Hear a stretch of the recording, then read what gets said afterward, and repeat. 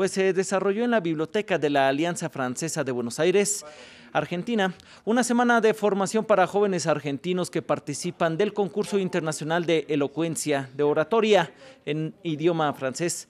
Uno será seleccionado para acompañar a otros 19 jóvenes del mundo que competirán en la final en París el 17 de marzo de 2020. Es una iniciativa del gobierno francés, como explica Jean Lorbeau, director del Instituto Francés en Argentina. Viene directamente del plan de la francofonía y del multilingüismo del presidente Macron. Y para nosotros, eh, yo creo que no solamente para nosotros, la visión multilateral del mundo es muy importante y si queremos tener una visión multilateral hay que dominar idiomas.